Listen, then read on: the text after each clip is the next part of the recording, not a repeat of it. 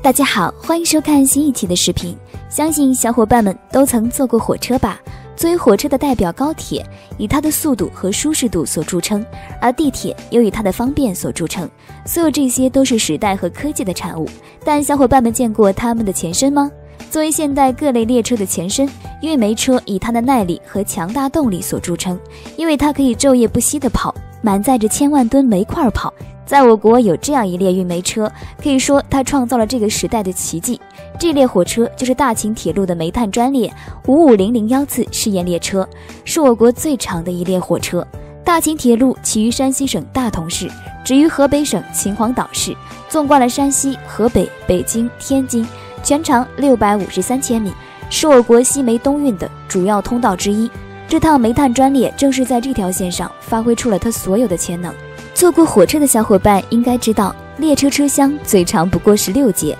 但五五零零幺次试验列车却拥有着三百二十节车厢、四个牵引车头，总长度达到了三千九百七十一米，行驶在大秦铁路上就像一条黑色大蟒蜿蜒前行，甚是壮观。在二零零三年的时候，大秦铁路才首次开行万吨重载列车。但随着我国科技的发展进步，在短短几年的时间里，煤运量就突破了三点四亿吨，又在二零一零年十二月二十六日提前完成了年运量四亿吨的目标。要知道，这四亿吨煤不仅可以产生两亿吨钢铁或二点六亿吨化肥，更能够满足全国四亿城镇居民一年的生活用电。运送如此大的吨量的煤炭，五五零零幺次试验列车可谓是功不可没了。对此，小伙伴们有什么看法呢？好了，今天就和大家介绍到这里，下一期会带大家去看更有意思的地方，欢迎大家点赞评论，喜欢我就请点击视频右下角的关注哦。